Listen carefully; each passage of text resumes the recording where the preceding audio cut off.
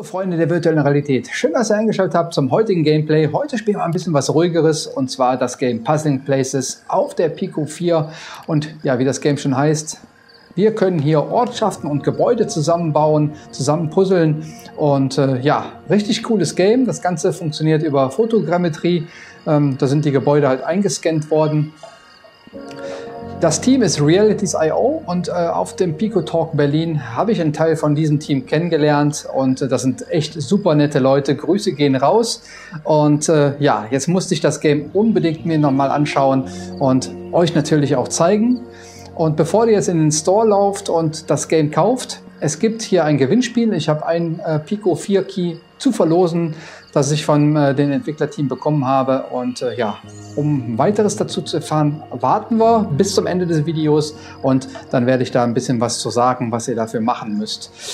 Ja, wir haben hier ein Standarddeck von Gebäuden, die wir hier dazu, dazu puzzeln können oder zusammen puzzeln können. Und wir haben hier auch einen DLC-Shop, wo es insgesamt jetzt schon 15 Pakete gibt, also 15 DLC-Pakete, die wir uns holen können. Äh, ja, die haben verschiedene Themenbereiche, sage ich einfach mal. Und äh, ja, da kann man sich dann was raussuchen, das hier über den Button kaufen und ja, dann Spaß haben, Spaß beim Puzzeln. Aber hier sind auch schon einige Sachen dabei. Ich habe eben mal ganz kurz dieses äh, Restaurant zusammengebaut, dieses japanische. Und äh, jetzt würde ich gerne mal ich weiß nicht. Schauen wir mal hier dieses Spukhaus. Das ist immer ganz gut, Spukhaus, ne? Ist nie verkehrt. Wir haben hier auch dann die Anzahl der Teile, können wir dann auswählen, äh, wie viele Teile wir hier zusammenbauen möchten. Und äh, ja, desto schwerer wird es natürlich dann auch. Ich bleibe erstmal bei 25 Teilen, um euch das auch ja, ein bisschen vernünftig zeigen zu können. Wir haben hier auch nette Musik dabei. Und äh, ja, das Gute ist, wir haben hier, das kann man aber auch ausblenden in den Optionen, wir haben hier Bilder von diesem Spukhaus, die wir uns anschauen können. Die greifen uns einfach mit dem Trigger und dann kann man sich das auch von verschiedenen Blickwinkeln mal anschauen. Wenn man das nicht mehr se sehen will, einfach mit dem Thumbstick einmal runter, also packen, runter und dann geht es wieder nach unten. So kann man natürlich auch aufräumen. Also ich würde jetzt einfach mal anfangen. Also diese Gräber, ne, die stehen ja hier vorne an der Ecke. Das packen wir uns dann mal so. Hier haben wir noch ein Grab. Also so können wir die dann versuchen zusammenzubauen. Nee, das ist äh, nicht das Grab. Das ist der Zaun. Und der Zaun, der steht irgendwo hier, würde ich mal fast behaupten. Schauen wir mal an, ob wir noch andere Anhaltspunkte haben. Das packen wir uns mal hier. Der Baum. Der Baum ist doch auch ein ganz guter Anhaltspunkt, oder? Kommt der hier hin?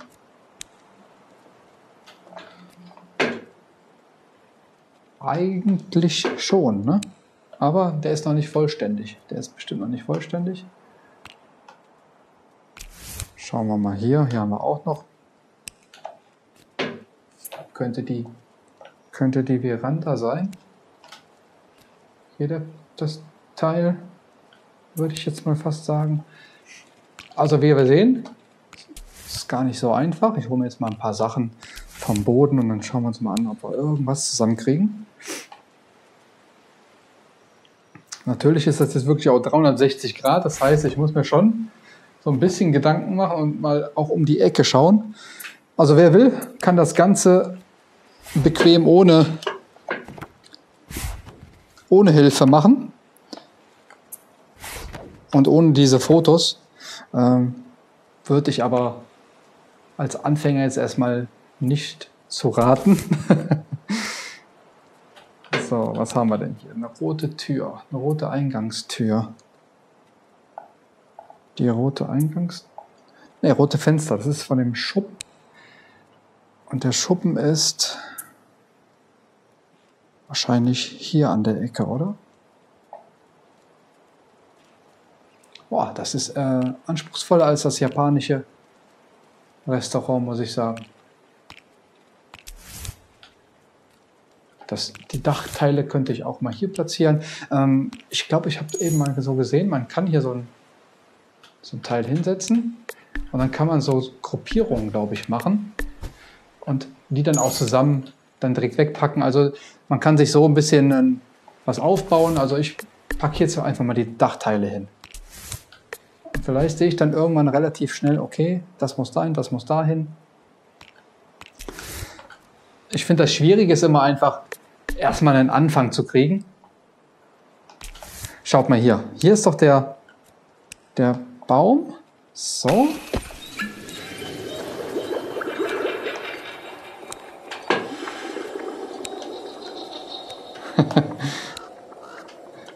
Ne? Na, guck mal, hier ist sogar, sogar ein kleiner, kleines Gefängnis und ein Toter drin. Hm. Ah, guck mal, da haben wir auch noch mal so ein Teil, was wir uns gleich mal anschauen können. Das gehört eigentlich hierzu, ne? Ne, hierzu. Ah, guck, schau, schau mal an. Wer will, kann sich hier auch den Himmel ändern, wie er möchte. Dann kann man hier alles, die Umgebung sich ein bisschen anpassen. Ich lasse es erstmal so, das ist eigentlich ganz cool. Ich weiß gar nicht, wie man den Punkt jetzt wegpackt. Aber ist egal. Vielleicht. So, genau, mit dem Thumbstick wieder. So, aber wo ist jetzt das Teil im Baum? Warum passt der Baum nicht ganz?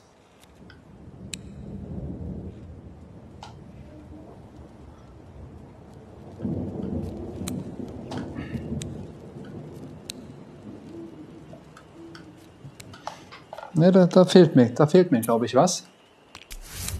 Schauen wir uns die ganzen Teile mal ein bisschen an.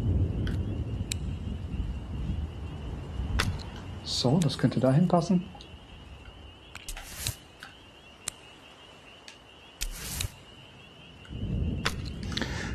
Wie gesagt, man kann es ein bisschen mit mehr System machen, als ich, als ich es jetzt hier mache.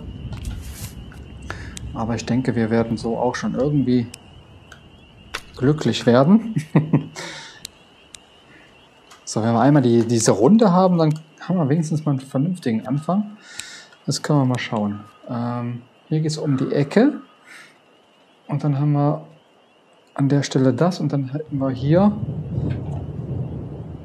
eine kleine Eingangstür. Eine kleine Eingangstür, wo haben wir die? Ist das das hier? Na, schau mal.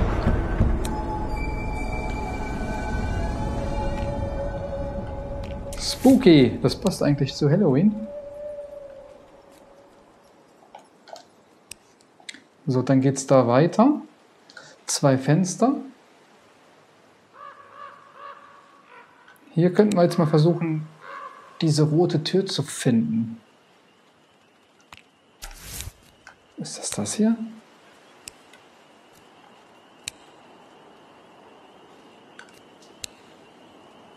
Das passt nicht ganz, oder?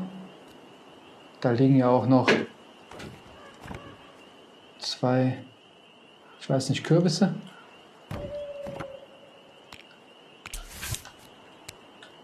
Ach, da haben wir es doch, da haben wir es doch. Sehr gut.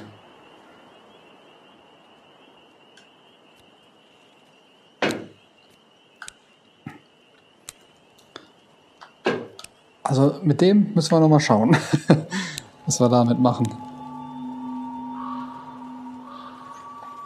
Das können wir hier auch noch mal schauen. Wir haben hier das. Der Baum so. Dann würde schon das hier kommen. Sehr schön. Und ich glaube, ah, guck mal, jetzt haben wir schon mal das ganze Gelände erschlossen. Das können wir mal anfangen, ein bisschen was aufzubauen.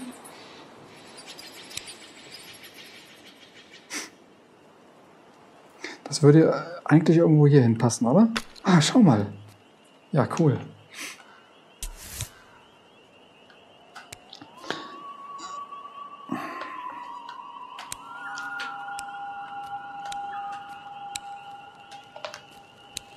Ich weiß nicht, wie genau muss man den rein snappen. Aha. Das sieht auf dem Bild aus, als ob der, das Skelett fast über dem Zaun hängt, aber der hängt gar nicht über dem Zaun. Der hängt so ein bisschen an den Gräbern. Sehr cool gemacht. Ach, schau mal hier. Hier ist doch einer.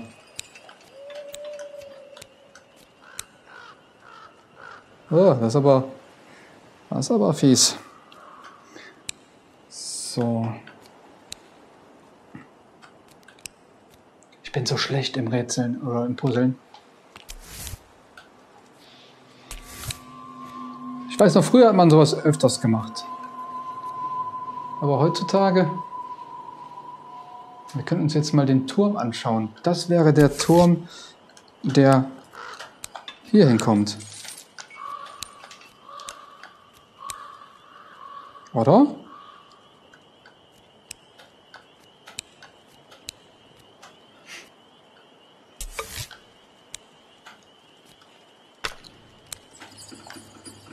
Und dann kommt das Ganze so. Sehr schön. Jetzt haben wir das schon mal. Ähm ist das vielleicht das Teil hier? Ja. Sehr gut. Jetzt fehlt uns noch das eine kleine Teil. Das ist es nicht. Das ist es auch nicht. Das. Sehr schön. Dann können wir uns das gleich auch genauer angucken, wenn wir mal fertig sind. Das sollten wir doch auch relativ schnell finden, oder? Das war hier. Hier fehlen uns noch ein paar Zuge. Warte, die, Ser die Särge haben wir. Ah, die Laterne. Hier. Ich sollte eigentlich hier diese zugeschlagenen Fenster suchen. Oder verbretterten. Fenster. So, jetzt hilft uns vielleicht das hier so ein bisschen weiter, ne? Wenn man das dann von oben so betrachtet. Das ist echt eine schöne Hilfe. Muss man jetzt nicht unbedingt nutzen, aber ich finde es äh, sehr gut. So, aber da fehlen uns natürlich auch Teile. Ne?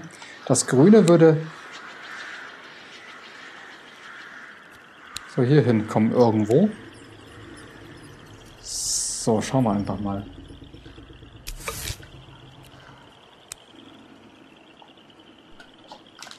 Die Teile können wir doch irgendwie zusammen machen, oder?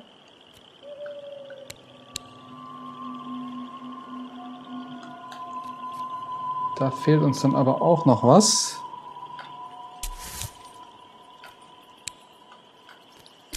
Gar nicht so einfach. Also das Dach ist jetzt Finde ich echt schwierig. Jetzt können wir mal hier schauen.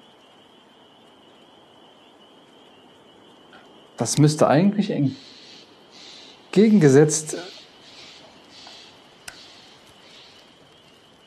hier irgendwo. Kann natürlich überall, überall stehen, ne? aber hier fehlt ja auch noch was.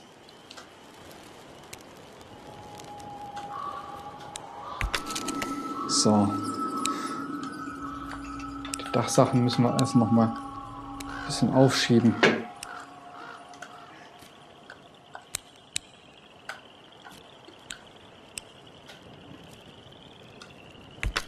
So.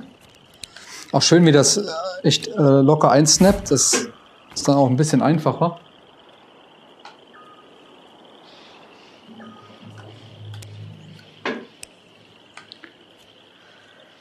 So, das, was wir hier haben, müsste das sein. Dann lasst uns mal versuchen, das von hier aus aufzubauen, so ein bisschen. Dann wird es auch, glaube ich, einfacher, als wenn ich jetzt hier irgendwie rumfummel.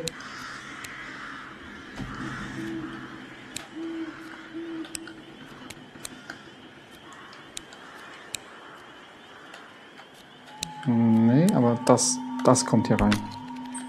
Sehr schön. Dann müsste das Fenster hier ran. Oh, langsam lichtet es sich, lichtet es sich. So. Ähm, das müsste so hier rein. Und yes!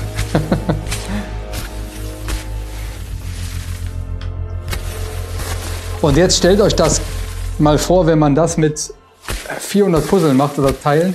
Äh, Zeige ich euch gleich auf jeden Fall auch mal, wie das dann aussehen würde.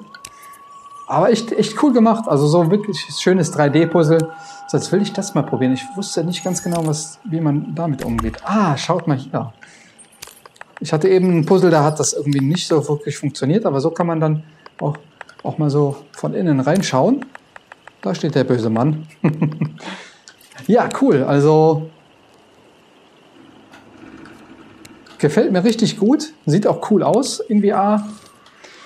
Gehen wir mal zum nächsten Puzzle über. So, das war das Spukhaus. Was sieht denn hier noch interessant aus?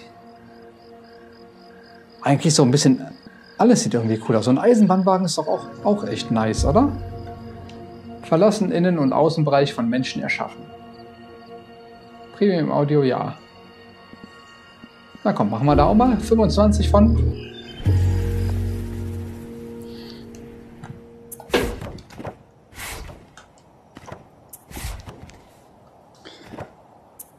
Das sieht richtig cool aus, muss ich sagen. So, stellen wir die mal so nebeneinander. So, ich würde jetzt entweder man fängt am Dach an oder am Boden. Ich finde äh, Boden immer ein relativ guter Anhaltspunkt. Da hätten wir auch schon diese Ecke hier.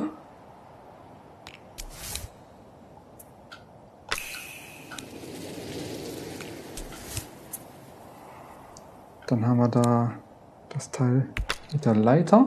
So. Hier sehen wir noch einen Schriftzug. Dann sollte der auch passen. Okay, jetzt könnten wir auf jeden Fall was vom Dach auch nehmen, wenn wir was finden. Könnte das das Dach sein? Ja, ne? So.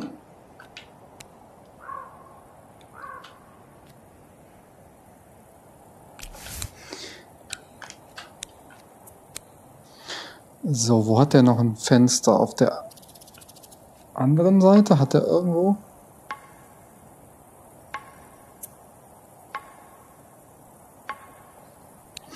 Das wäre dann hier irgendwo, ne? Würde ich mal fast tippen. Okay, lassen wir das mal. Noch ein Fenster. Das sind die zwei Fenster wahrscheinlich, die man hier sieht und die man da sieht.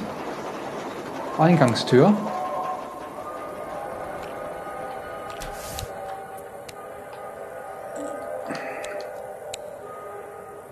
Nee, das passt nicht. Decke ich nochmal kurz weg. Hier ist nochmal ein Stück Boden. Wie gesagt, man kann so ein bisschen am Schnittmuster auch gucken oder man schaut wirklich nur über, über die Teile an, wo was hingehören könnte. Das, das würde nicht passen. Was könnte das die Ecke hier sein? Ne, okay. Lege ich auch jetzt nochmal weg. Ein Stück Boden suchen wir uns nochmal. So, jetzt schaue ich mir nochmal die Teile hier an. So wäre der ja. Hier kommt noch eine Leiter hin. Schaut mal hier. Aber das ist nicht die richtige Leiter. Also suchen wir noch ein Stück Leiter. Das könnte die sein, oder? Okay.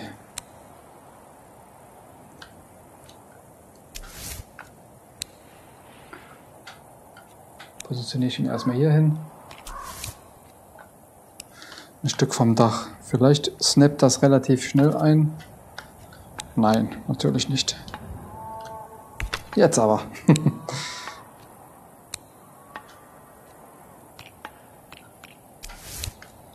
so, hier haben wir noch ein Stück von, von der Außenseite. So.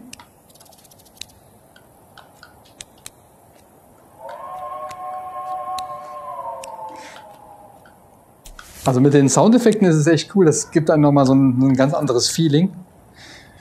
Ihr könnt das Game auch im Pass-Through-Modus zocken. Das wollte ich jetzt nicht machen. Hier sieht es nämlich katastrophal aus in meinem Büro. Aber ähm, könnt ihr ohne Probleme machen. dann seht ihr halt immer eure reale Umgebung. Ist vielleicht manchmal nicht schlecht. Ah, jetzt haben wir es hier langsam.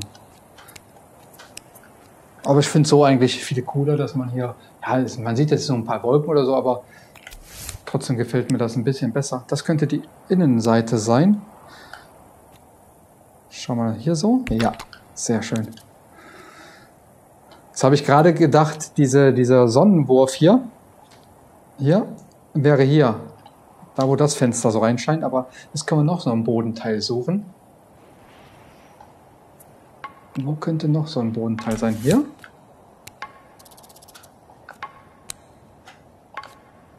Das passt, das passt aber nicht so recht, ne? Nein.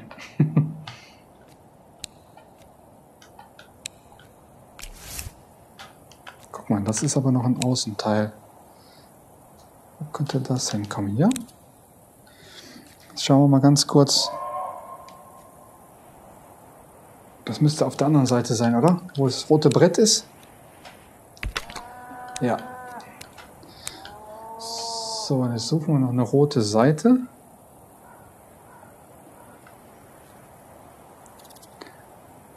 Also diese Seite ist, sollte das sein, oder? Ja, das ist die beschriftete Seite. Aber die andere Seite ist auch beschriftet, okay. Aber hier kommt noch eine, eine Leiter irgendwo dran. Hier.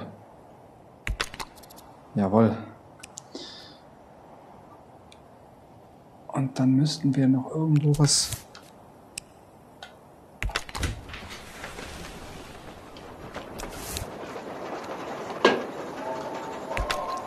So, ein Teil fehlt jetzt hier noch.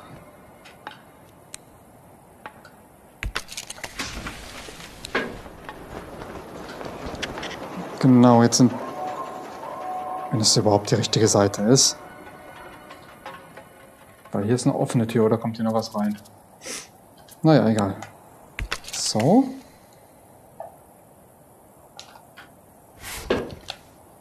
So.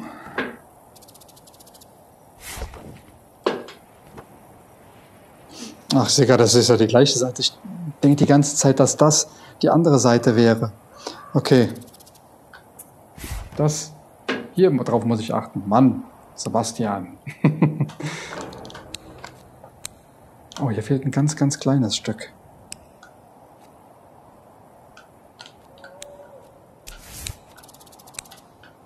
Das könnte hier. Nee, das ist zu groß.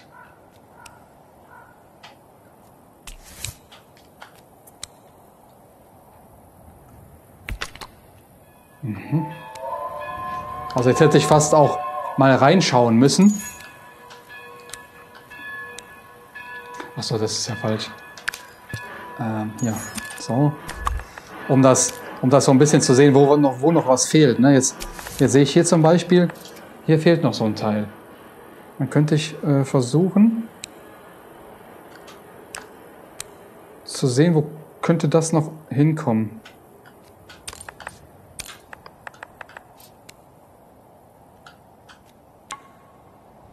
Also hier kann es nicht hinkommen. Okay.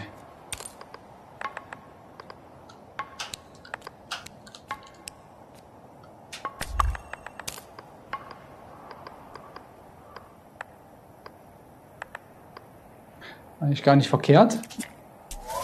Was haben wir hier für ein Teil?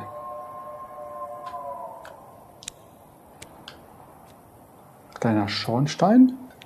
Den suchen wir jetzt mal auf den Bildern. Hier ist der kleiner Schornstein.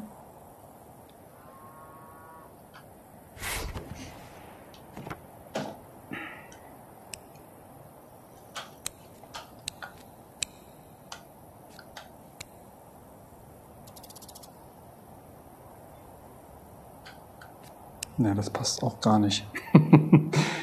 okay. Das passt hier rein. So, jetzt haben wir noch ein Stück Boden. So, hier kann man jetzt wieder das Ding benutzen. So. So sieht man es dann natürlich besser. Schaut mal hier. Zack. Dann haben wir den Boden schon mal komplett fertig. Jetzt haben wir noch Dachteile, die fehlen. So, der muss hier hin. So.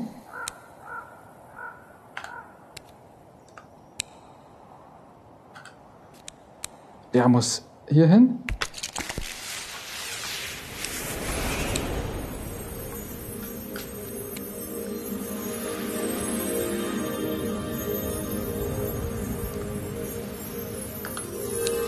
Wo kommt das hin? Das ist gar nicht so einfach. Jetzt muss ich mir echt die Lupe nochmal schnappen.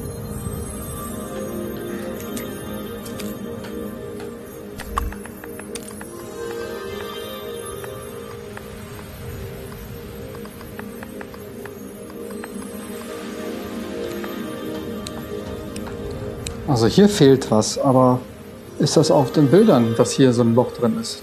Wahrscheinlich nicht, oder?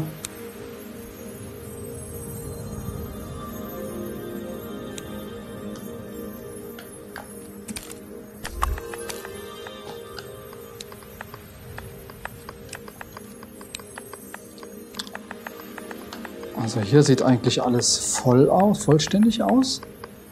Hier halt nicht, ne? So. Jetzt setzen wir das da ein. so, die Lupe weg. Also seht ihr, die Lupe ist äh, auch ziemlich wichtig, wenn man am Ende dann nicht fertig wird. Aber, also ich, ich finde es richtig schön, richtig gut gemacht. Und jetzt zeige ich euch noch,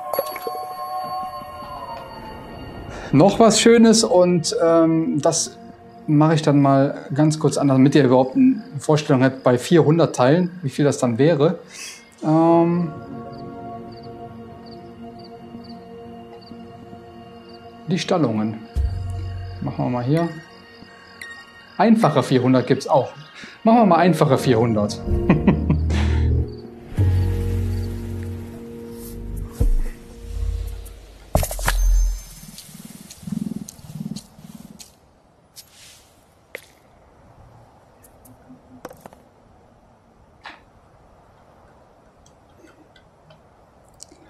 Okay, dann sind die wahrscheinlich immer äh, schon so, dass man Teile zusammenbauen kann, vermute ich mal, von dem Teil. Und dann geht es weiter. Wenn man das dann geschafft hat, geht es weiter.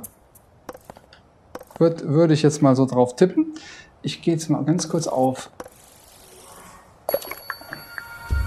von einfache auf normale 400 Teile. Was dann passiert? Wie gesagt, ich äh, spiele heute zum, zum ersten Mal. Ja, okay, okay. Das ist, das ist nicht schlecht.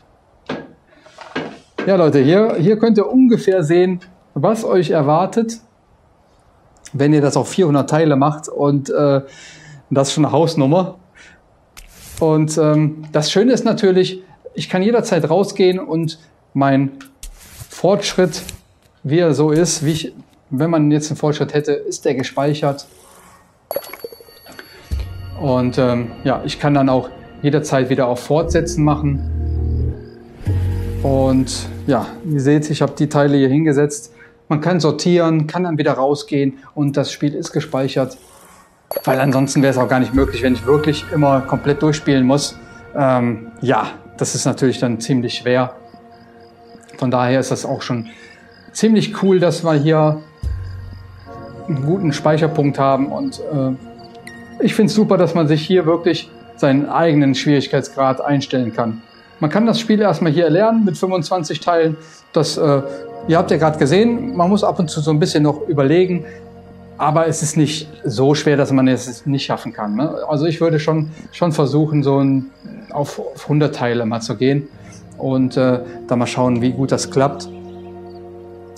Das Gute ist, ihr habt ja auch noch verschiedene Profile. Wenn ihr mit mehreren Leuten im Haushalt seid, kann sich jeder ein Profil aussuchen und kann dann mit seinem eigenen Profil weiterspielen. Das ist natürlich auch von Vorteil.